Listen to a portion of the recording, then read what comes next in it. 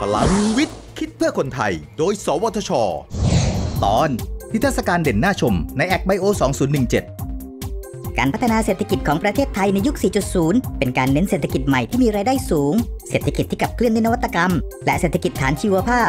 โดยมีกลุ่มอุตสาหกรรมเป้าหมายที่รัฐบาลมุ่งเน้น เช่น กลุ่มอาหาร เกษตร และเทคโนโลยีชีวภาพ ซึ่งจะมีเทคโนโลยีก้าวหน้าแค่ไหน และมีโอกาสทางธุรกิจอย่างไร ไปชมกันได้ในงาน a c b i o 2017 ได้เลยนะครับ สวทช ร่วมกับหน่วยงานภาครัฐและเอกชน จัดงานประชุมวิชาการ a c b i o 2017 ระหว่างวันที่ 27 กุมภาพันธ์ ถึง 2 มีนาคม 2560 ณ ไบเทคบางนา โดยมีการแสดงนิทรรศการความก้าวหน้าด้านเทคโนโลยีการเกษตรอาทิพระมหากษัตริย์กับข้าวไทย การใช้วิทยาศาสตร์และเทคโนโลยีเพื่อการพัฒนาชนบทธนาคารพันธุ์พืชระดับชาติ ความก้าวหน้าของการรวบรวมและปรับปรุงพันธุ์พืชในประเทศไทย เทคโนโลยีการผลิตเมล็ดพันธุ์ เทคโนโลยีการเกษตรแม่นยำ เทคโนโลยีการเลี้ยงผึ้งและการใช้ประโยชน์จากแมลงสื่อผสมเกสร และการเชื่อมโยงการผลิตจากชุมชน สู่ภาคอุตสาหกรรม ผลิตภัณฑ์แปรรูปจากข้าวเพื่อการส่งออก ประชารัฐอ้อยมันสำปะหลัง การถ่ายทอดเทคโนโลยีและองค์ความรู้ทางวิชาการไปสู่การใช้งานจริงในภาคการผลิตและอุตสาหกรรม และยังมีนิทรรศการในสาขาเกษตรและอาหารอีกมากมาย ผู้สนใจลงทะเบียนร่วมงานได้ที่ w w w www.acbio2017.com